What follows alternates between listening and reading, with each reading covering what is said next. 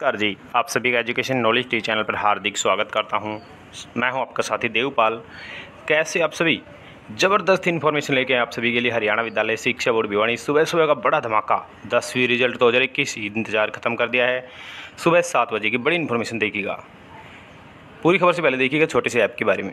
Hello दोस्तों, आप सभी के लिए कमाल की एप्लीकेशन लेके आए जिसका नाम है फिलो ऐप, जिसमें आपकी क्लास छः से बारहवीं I I T JEE NEET उसी के साथ साथ आल गवर्नमेंट जॉब की तैयारी कर सकते हैं।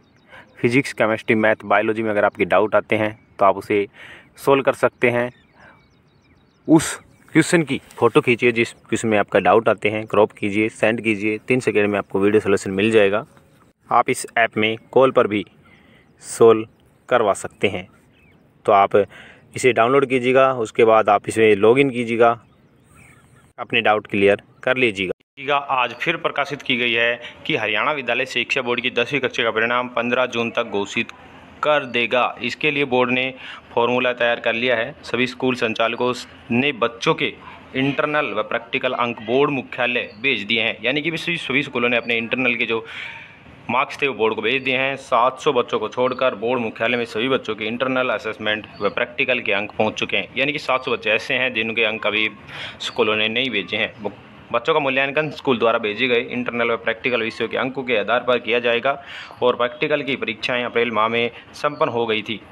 यानी कि प्रैक्टिकल पहले ही हो चुकी थी, पहले थोड़ी के अंक निकालने जाएँगे, वहीं उसके बाद उसमें असेसमेंट या प्रैक्टिकल के अंक जोड़ कर परिणाम निकाला जाएगा। यहाँ पे देखिएगा, इस फॉर्मूले से किया जाएगा, विद्यार्थियों का मूल्यांकन प्रैक्टिकल विषय वाले बच्चों का मूल्यांकन।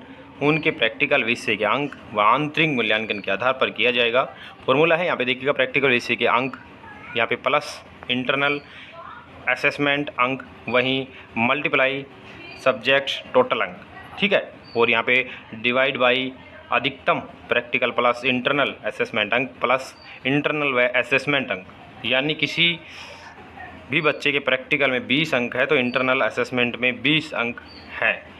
तो वह सब्जेक्ट्स की कुल सेट अंकों तो परिणाम इस आधार पर निकाला जाएगा।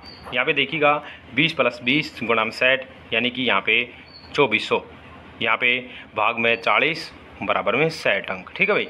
यहाँ पे देख सकते हैं आप, अगर आपके 20 प्लस बीस बराबर सौ। बोर्ड सचिव राजीव प्रसाद ने बताया है कि परीक्षा परिणाम 15 जून से पहले घोषित कर दिया जाएगा और जिसमें तीन लाख चालीस हज़ार बच्चों में से केवल 700 बच्चों के इंटरनल अभी तक नहीं पहुँचे हैं। इसके लिए कुल बच्चे सीबीएसई में जा चुके हैं और गौरतलब है कि कोरोना के चलते इस बार दसवीं की परीक्षा नहीं ली गई है। सभी बच्चों को प्रमोट किया जाएगा और दसवीं कक्षा में तीन लाख चालीस हज़ार विद्यार्थी शामिल है। बहुत बड़ी इन्फॉर्मेशन भाई। शेयर कीजिएगा। धन्यवाद।